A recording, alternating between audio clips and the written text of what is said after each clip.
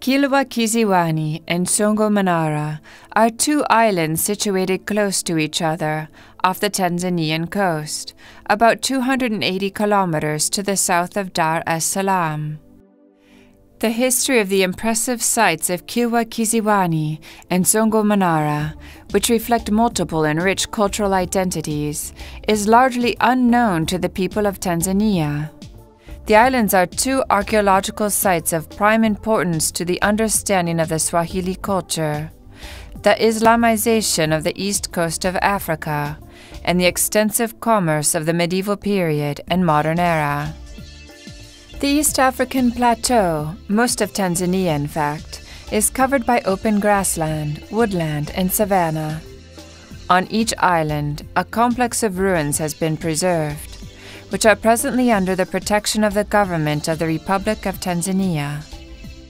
The standing ruins of Kilwa Kisiwani represent a slice through East African history, from the high point of the Swahili civilization through its decline under Portuguese control to annexation by the Omani Empire based in Zanzibar.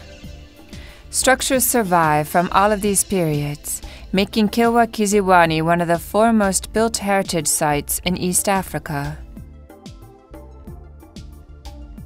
Among the monuments, we find ruins comprising the Gereza, a Swahili term meaning prison.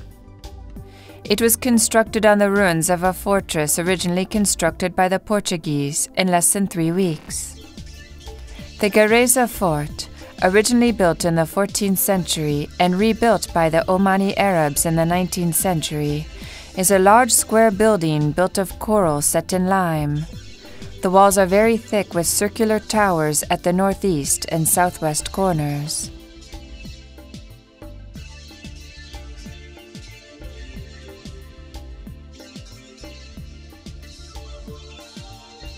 It has an impressive entrance with fine wood carving.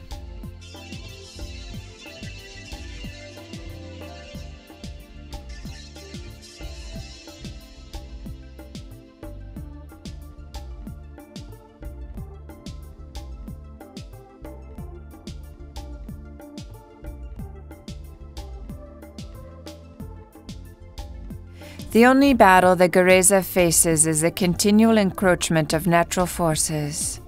Wind and sea have eaten into its once powerful stone. Its courtyards are turning to grass, and high on its tower, baobab has taken root. The other two important buildings on Kilwa Island are also defensive structures, although they seem to date mostly to the 18th century. The largest of these is the Makutani Palace, which served as a residence of the Sultan in the 18th century.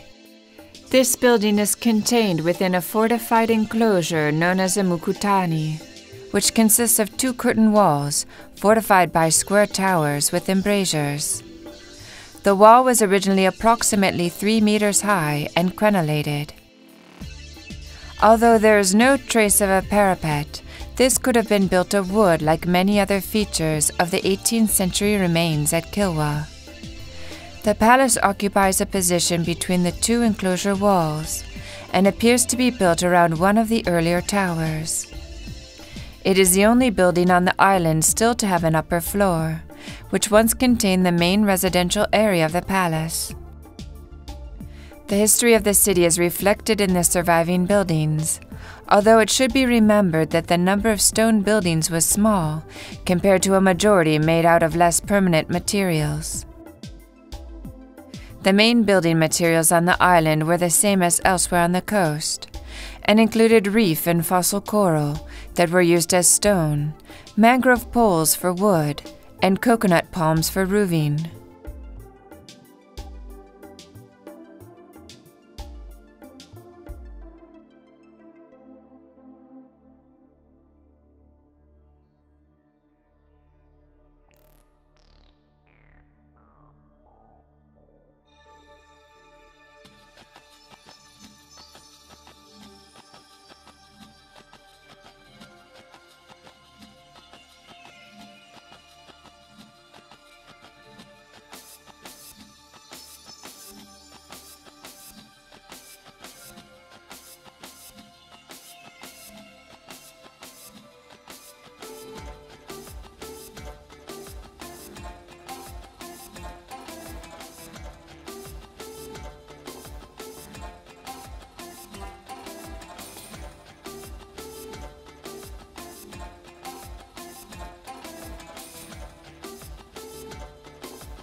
To the east of the main group of buildings are the remains known as Husuni Kubwa, Large Husuni, and Husuni Ndogo, Small Husuni.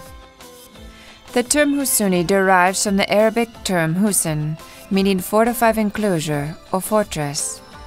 While this term may be appropriate for the latter, its application to Husuni Kubwa seems unlikely for a palace complex. Husuni Kubwa is located on a coastal headland overlooking the Indian Ocean. It seems to date mostly from the late 13th or early 14th century and may well have never been completed. The complex consists of three main elements the gateway or monumental entrance, the large south court, and a complex of four courtyards that form the core of the palace. The royal nature of the palace is confirmed by a floriated Kufic inscription found during excavations that mentions Sultan Al Hassan bin Suleiman.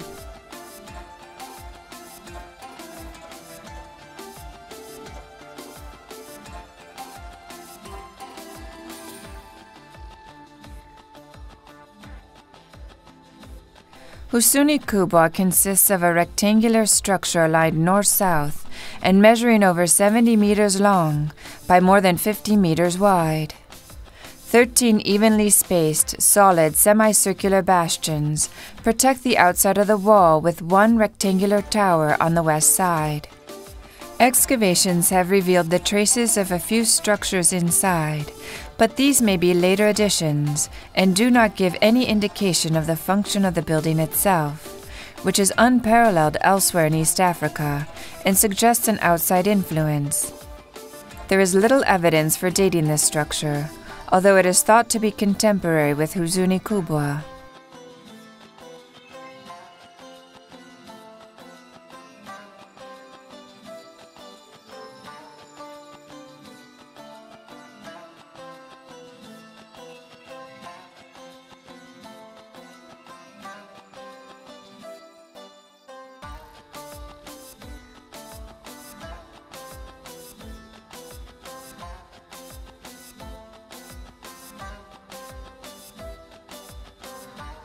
Although East Africa has been Islamic for more than 1,000 years, the towns or settlements do not contain all the elements usually found in a Muslim town.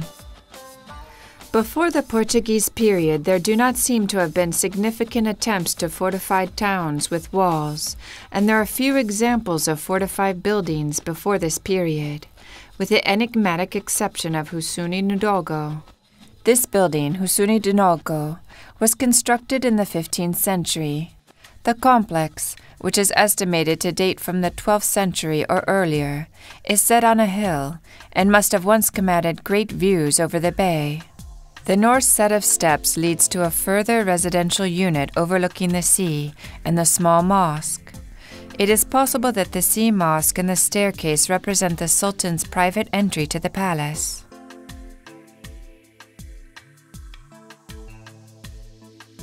The ruins of Kilwa Kisiwani are by far the most important. The site was occupied from the 9th century to the 19th century and reached its peak in the 13th and 14th centuries. In 1332, the great traveler Ibn Battuta made a stop here and described Kilwa as one of the most beautiful cities in the world. Thereafter, Cabral and Vasco da Gama were content only to call it its port but Francisco de Almeida seized it in 1505 and established a fortress there. The Portuguese named it the island of Quiloa, and it is by this name that it was known in the West.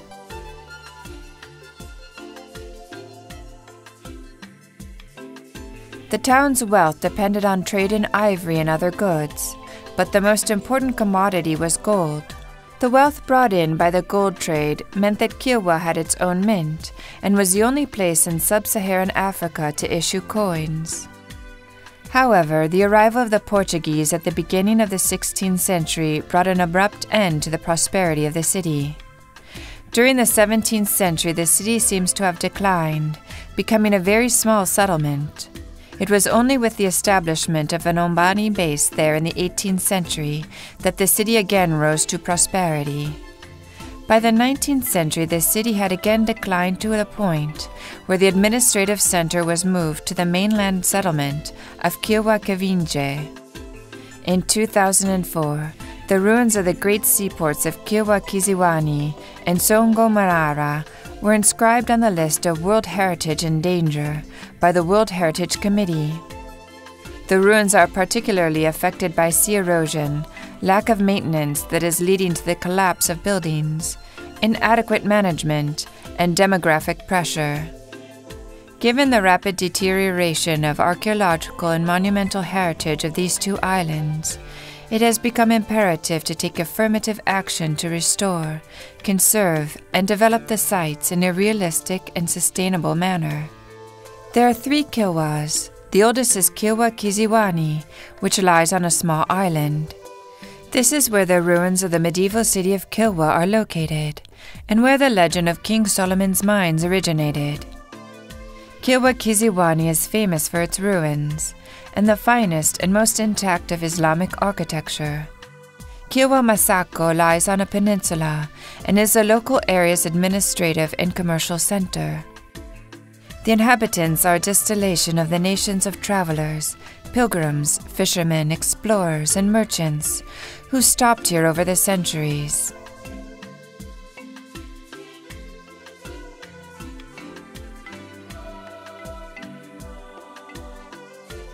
Fishing has long been an important source of income and nutrition to the people of Kilwa district. There are over 1,700 registered local fishermen who use nearly 600 small boats. The harbor at Kilwa Masoko is a starting point for atmospheric dhow trips to the neighboring Kilwa Kisiwani UNESCO World Heritage Site.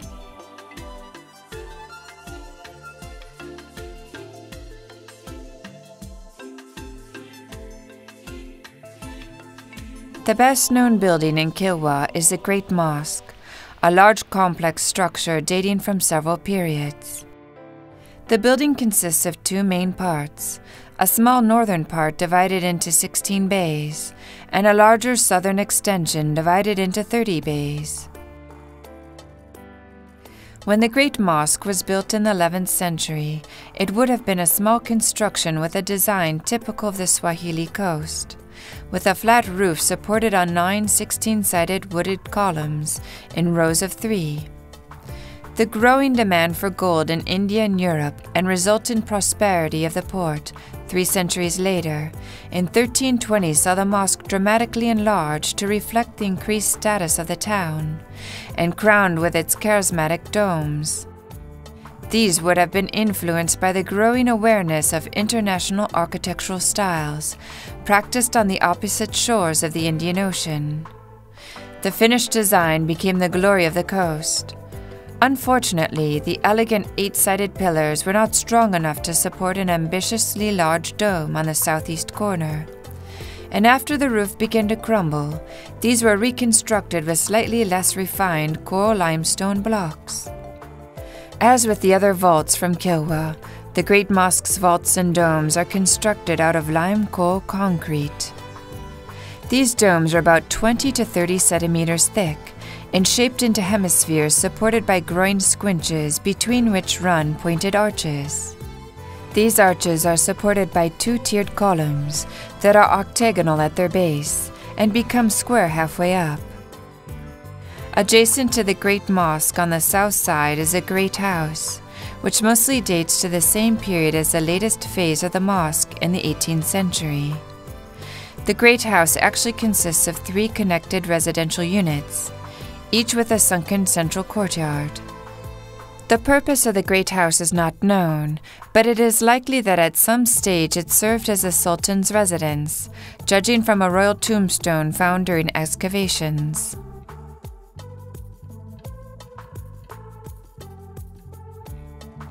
The eastern coast of Africa changed profoundly around the close of the first millennium AD. First, because Bantu speaking peoples from the interior migrated and settled along the coast, from Kenya to South Africa. And secondly, because merchants and traders from the Muslim world in India realized the strategic importance of the east coast of Africa for commercial traffic and began to settle there. From 900 AD onwards, the east coast of Africa saw an influx of Shirazi Arabs from the Persian Gulf, and even small settlements of Indians. The Arabs called this region Al Zanje, the Blacks, and the coastal area slowly came under the control of Muslim merchants from Arabia and Persia. By the 1300s, the major East African ports from Mombasa in the north to Sofala in the south had become thoroughly Islamic cities and cultural centers. The language that grew out of the mix of Arabs and Bantu is one of the most common languages that is a combination of two or more languages. Swahili, or Kiswahili, from the Arabic word Sawahil, which means coast. To the southwest of the Great Mosque is a small domed mosque that, together with the Jangwani Mosque, are the only two examples of a nine domed mosque in this area. The small domed mosque is a miniature of the Great Mosque. This ruin has a fascinating and unusual charm, with a neat symmetrical nine domed square flanked by a tiny washing room. The ceiling inside is carved with small rondels that were once filled with colorful oriental ceramics, and the roof is crowned with an impressive stone obelisk that has since broken off.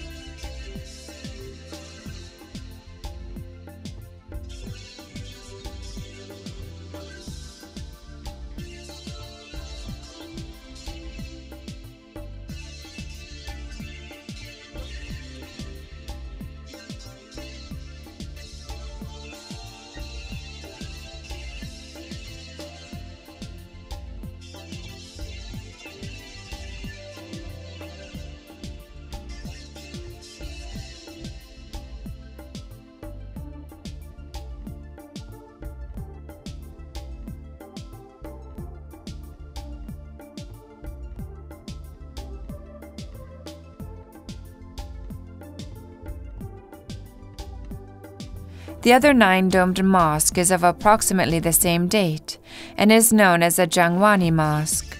It is located to the south of the small domed mosque.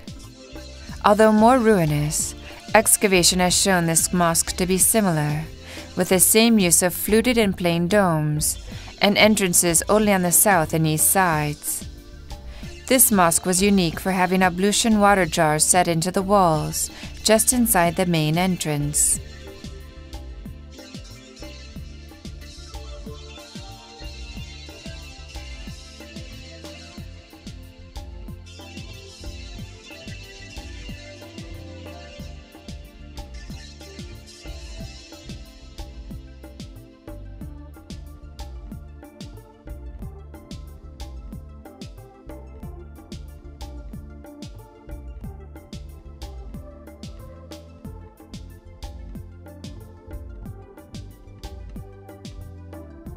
Kilwa District has an abundance of natural resources, and the vast majority of its people are reliant on natural resources to meet their daily needs. Farmers rely on traditional tools and methods. For example, fields are cultivated by hand using hoes and irrigation.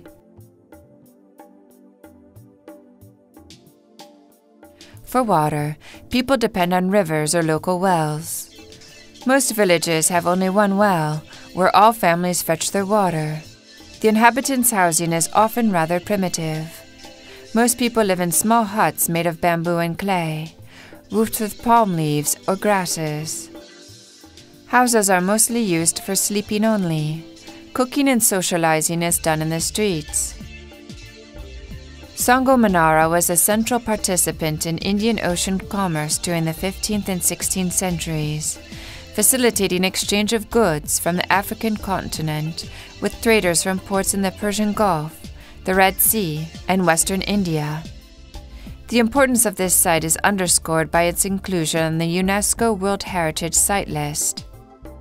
The ruins of Songo Mnara date to at least the 15th century or earlier, and these older ruins were reoccupied by the Omani settlers in the 18th century. Songo Mnara is dominated by the well preserved remains of more than 40 large domestic room blocks, five mosques, and numerous tombs. Room blocks wrap around and enclose an open central area of the site, where tombs, a walled cemetery, and a small mosque are located. The stone ruins of the town are quiet and empty. They have been that way since the 16th century, when the people who built this place departed. But despite its age, the town remains remarkably untouched by time, or the hands of scavengers and looters who frequently mar the integrity of sites that contain tantalizing clues to humankind's past. Two factors make Songo Mnara particularly interesting. The first is its condition. The ruins of many Swahili towns can be found elsewhere on the coast, but people either live in them or take the stones to construct other buildings. But Songo Mnara is so isolated that it has remained relatively untouched, even by archaeologists. Most of the rubble from the buildings remains, and the walls stand all over the site. It is a remarkable time capsule. The second interesting factor about Songo Mnara is that it dates to the last century or so before the Portuguese assumed dominance over Indian Ocean trade. Songo Mnara may not be as interesting in terms of the long term transformation of Swahili culture, but it gives us a focused view of the 15th and 16th centuries. The name Songo is ancient, but Mnara is a relatively modern word, meaning tower, and refers to the tall but collapsed minaret of the main 15th century mosque. A large labyrinthine building with beautiful arches and doors is generally referred to as the Sultan's Palace. But since this island had no sultan, it was probably the secondary residence of the Sultan of Kilwa. The houses have a standardized design, with a monumental entrance approached by a flight of steps, leading via an anteroom into a sunken courtyard, to the south of which are the main living quarters of the house. The dominant typology discovered was that of a single story unit, with entrance lobbies that led into sunken courtyards. The main building materials were coral, mangrove, coconut thatch, and mud, all of which were easily available on the coast. In the absence of any other suitable form of stone on the coast, coral was employed as the main building material for stone houses. Tune made types were used reef coral quarried live from the sea, and fossil coral, which form the main rock underlying the coast. Usually, reef coral was used for the finer decorative elements of a building, while fossil coral was used for the walls, although there are certain variations on this. Coral was also burnt and used to make lime for plaster and mortar. Mangrove poles were the main type of timber used and were available in considerable quantities, as any coastal settlement would involve the clearance of large areas of mangrove. The standard dimensions of mangrove poles are between 1.8 and 2.8 meters long, imposing a maximum span on roofs without supports. Coconut palm was used as a thatch to roof mud walled houses and to build temporary fishing shelters.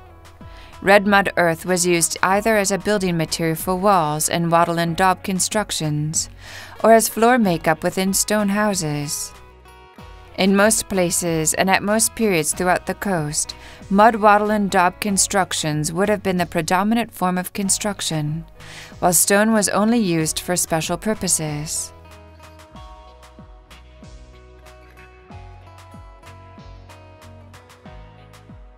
The small objects made of earthenware that have been gathered during the excavations bear exceptional testimony to the commercial and consequently cultural exchanges of which Kilwa, and to a lesser extent, Songo were the theater. Cowrie shells, pearls of glass, carnelian or quartz were interfaced with porcelain of the Song dynasty as a medium of exchange from the 12th century. The Kilwa area is characterized by endless white beaches, dotted with tall swaying palms. Remote islands whose inhabitants cross to and from the mainland in dhows with billowing white sails, and any number of time warped Swahili ports evoking the area's long history of maritime trade. Yet the haunted ruins that remain more than four centuries later form an unmatched and compelling example of medieval Swahili architecture. One that was inscribed as Tanzania's second UNESCO World Heritage Site in 1981.